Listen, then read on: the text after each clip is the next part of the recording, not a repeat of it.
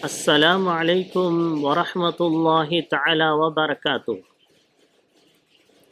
الحمد لله رب العالمين والصلاة والسلام على أشرف المرسلين وعلى آله وأصحابه ومن تبعهم بإحسان إلى يوم الدين.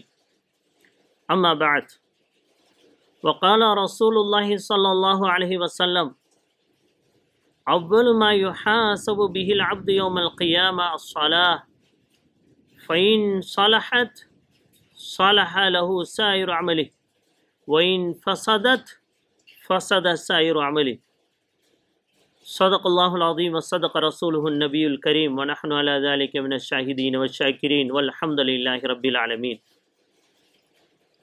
எல்லா புகழும் அல்லாஹுக்கே கண்ணியத்திற்கும் பெரும் மதிப்பிற்குரிய அல்லாஹின் நல்லடியார்களே நாயகத்தின் காலை நேர சிந்தனை என்ற இந்த நிகழ்ச்சியில் அல்லாஹு தாலாவின் மிக பெரும் அருளால் பெரும் ஆபத்தை விளைவிக்கும் தொழுகையின் அலட்சியம் என்ற தலைப்பின் கீழ் பேச அல்லாஹ் பாக்கியம் அளித்திருக்கிறான். கண்ணியமானவர்களே பொதுவாக நாம் தொழுகை விஷயத்தில் அலட்சியமாக இருக்கிறோம். நம்மில் பலர் ஏதாவது ஒரு குறை தொழுகை விஷயத்திலே செய்து கொண்டே இருக்கிறோம். முழுமையாக ஜமாத்துடன் ஆண்கள் பள்ளிக்கு வந்து பெண்கள் தொழுகையுடைய ஆரம்ப நேரத்தில் இந்த அழகான ஒரு வழிமுறையை பின்பற்றக்கூடியவர்கள் மிக குறைவு. ஆக கண்ணியமானவர்களே தொழுகையின் முக்கியத்துவம் நாம் விளங்கிக் கொள்வது அவசியமாக இருக்கிறது. தொழுகைத்தான் இஸ்லாத்தின் செயல்பாடுகள் அமல்களில் எடுத்து வைக்கப்படும் எட்டுக்களில் முதல் எட்டாகும். இதை கடந்துதான் மற்ற எல்லா அமல்களும். தொழுகை இல்லை என்றால் எதுவுமே இல்லை. தொழுகை ஒரு மனிதரிடத்தில் இல்லை என்றால் அவரிடத்துல மற்ற எந்த காரியமும் பரிபூர்ணப்படாது. எந்த காரியமும் நன்மை கொடுக்கக்கூடியதாக இருக்காது. ஆக தொழுகை மிக அவசியமாக இருக்கிறது.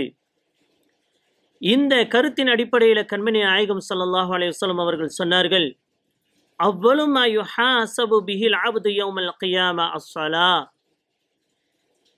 கியாமத் நாளிலே ஒரு அடியானிடத்திலே முதல் முதலியா முதல் முதலாக கேட்கப்படக்கூடிய கேள்வி தொழுகைதான். அந்த தொழுகை ஃபைன் சலஹத் அந்த தொழுகையுடைய கேள்விக்கு சரியான முறையில் பதில் சொல்லிவிட்டால் அவருடைய விஷயத்திலே தொழுகை சரியாக இருந்தால் சாலஹ லஹு அமலி. மற்ற எல்லா அமலும் சரியாக இருக்கும். மற்ற எல்லா அமல்களுடைய விஷயத்திலையும் அவர் வெற்றி பெற்று விடுவார். ஒயின் ஃபசதத் தொழுகை அவருடைய விஷயத்திலே சரியில்லாமல் இருந்தால் அவர் தொழுகையை பால்படுத்தியிருந்தால் அவர் தொழுகையிலே மோசடி செய்திருந்தால் ஃபசத சாயிரு அமலி எல்லா அமல்களும் வீணாகிவிடும் என்பதாக கண்மணி நாயகம் ஸல்லல்லாஹு அலி வல்லம் அவர்கள் சொன்னார். கண்ணியமானவர்களே ஒரு முஸ்லீம் என்றால் தொழ வேண்டும். ஒரு முஸ்லிமுடைய முதல் அடையாளம் தொழுகை. ஒரு முஸ்லிமுக்கும் மற்றவர்களுக்கும் வித்தியாசம் தொழுகை. ஒரு முஸ்லிம் தொழாமல் இருக்க முடியாது. முஸ்லிம் அல்லாதவர் தொழ முடியாது. நபிசல்லாஹ் அலி வஸ்லம் அவர்கள் சொன்னார்கள் காலர் ரசூல் சல்லாஹு அலி வசல்லம் பைனர் ரஜுலி ஒ பைன ஷிர்கி வல் குஃப்ரி தர்கு சலா நபிசல்லாஹ் அலி வஸ்லம் அவர்கள் சொன்னார்கள் ஷிர்க்குக்கும் குஃபருக்கும் மத்தியில் வித்தியாசம் என்னவென்றால் அதாவது ஷிர்கு குஃபுர் மற்றும் ஈமானுக்கும் மத்தியில் உள்ள வித்தியாசம் என்றவன் என்னவென்றால் தொழுகையாகும். ஒரு மனிதர் ஷிர்க்குடையவராக இருக்கிறார் ஒரு மனிதர் குஃப்ரு உடையவராக இருக்கிறார் என்றால் அவர் தொழாதவராக இருப்பார். ஒரு மனிதர் ஈமான் உடையவராக இருக்கிறார் என்றால் அவர் தொழக்கூடியவராக இருப்பார். கண்ணியமானவர்களே குறிப்பாக நம்மளுடைய விஷயத்துல நம்மளுடைய வாழ்க்கையில தொழுகை எந்த நிலையில இருக்கிறது? நம்முடைய குழந்தைகளுடைய விஷயத்துல தொழுகை எந்த நிலையில இருக்கிறது? நாம் நம்மளுடைய குழந்தைகளுக்கு எந்த விதத்தில் தொழுகையை பழக்கப்படுத்தி இருக்கிறோம் அவர்களை எப்படி நாம் தொலை வைக்கிறோம்? இப்பொழுது அல்லாஹ் நம்மை வீட்டில் இருக்கக்கூடிய அந்த வாய்ப்பை ஏற்படுத்தியிருக்கிறான். இந்த நேரத்திலே தொழுகையுடைய விஷயத்திலே நாம் எவ்வளவு முக்கியத்துவம் முக்கியத்துவத்துடன் நாம் எப்படி இருக்கிறோம்? நம்மளுடைய குழந்தைகளை எப்படி பழக்கப்படுத்துகிறோம்? ஐந்து நேரம் தொலை வைக்கிறோமா? தொழுகை சொல்லி தொல் சொல்கிறோமா? ஃபஜிருக்கு எழுப்பி விடுகிறோமா? என்ற எல்லா விஷயத்தையும் நாம் கவனத்தில் கொள்ள வேண்டும்.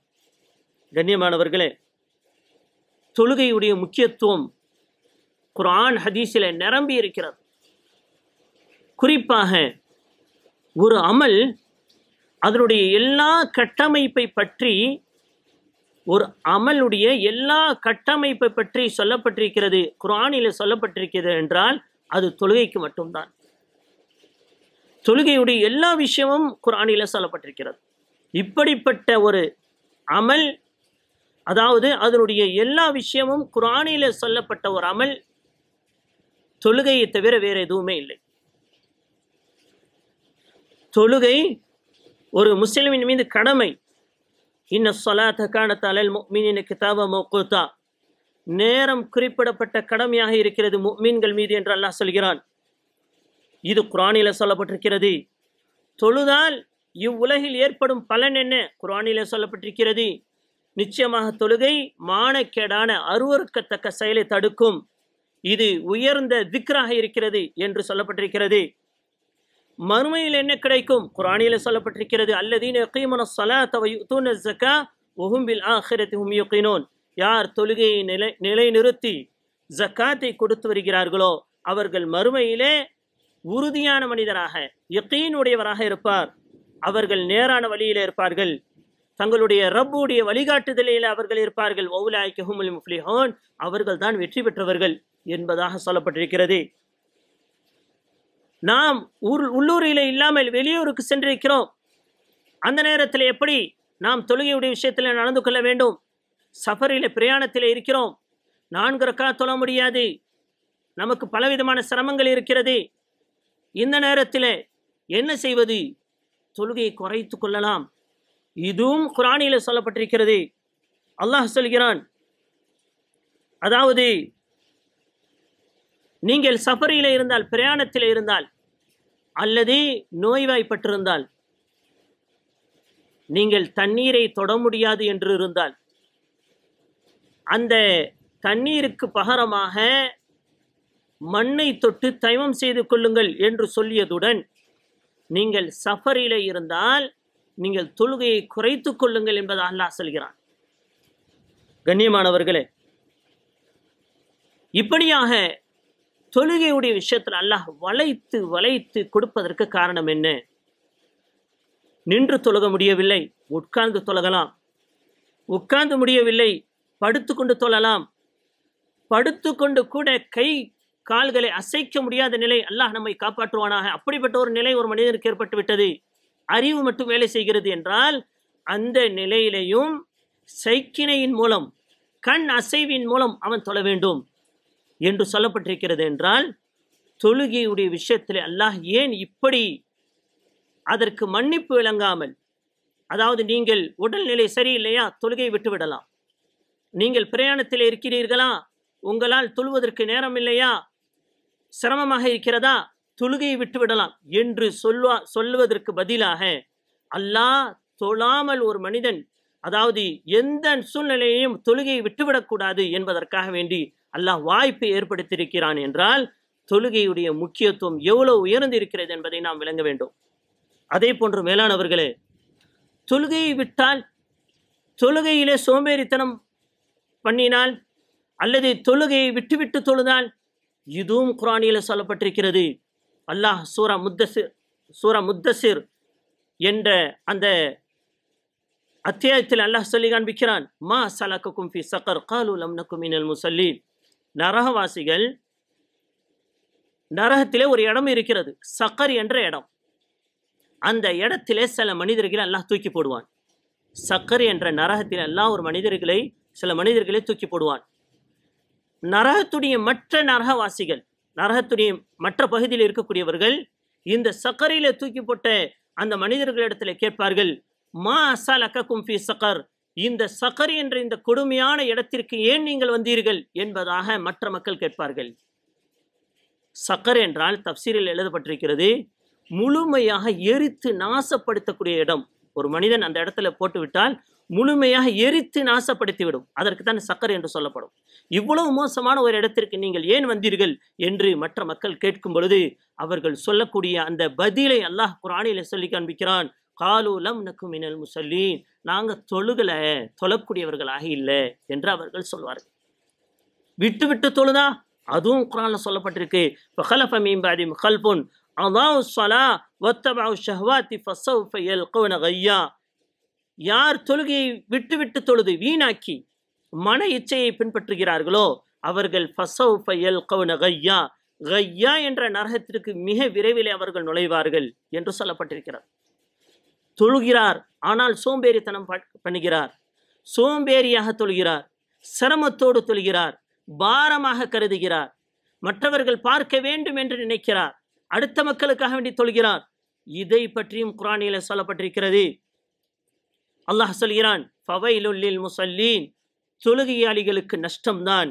அல்லதீனஹும் சலாத்திஹிம். யார் தொழுகிறார்களோ அந்த மனிதர்களுக்கு நஷ்டம்தான். சாஹூன் அல்லதீனஹும் இராவூன் ஃபவைலுல்லில் முசல்லீன் அல்லதீன ஹும் அன் சலாத்திஹிம் சாஹூன் அல்லதீனஹும் யுராவூன். அதாவது தொழுகையிலே சோம்பேறித்தனமாக பொடுபோக்கோடு யார் தொழுவார்களோ அப்படிப்பட்ட அந்த தொழுகையாளிகளுக்கு நஷ்டம். மேலும் அவர்கள் அடுத்தவர்களுக்கு காண்பிக்க வேண்டும் என்பதற்காக தொழுகிறார்கள். அத்தாவிற்காக தொழுவார்கள்.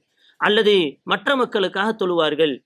இப்படிப்பட்ட இந்த நிலை மிக ஆபத்தான ஒரு நிலை என்பதை சுட்டிக்காட்டும் விதமாக அல்லாஹ் இதையும் தடு தடுத்திருக்கிறான். ஆக சொல்லக்கூடிய நோக்கம் என்னவென்றால் மேலானவர்களே ஒரு அமல் எல்லா கட்டத்தை பற்றியும் ஒரு அமலுடைய எல்லா கட்டத்தை பற்றியும் குரானில் சொல்லப்பட்டிருக்கிறது என்றால் அது தொழுகையாகத்தான் இருக்க முடியும்.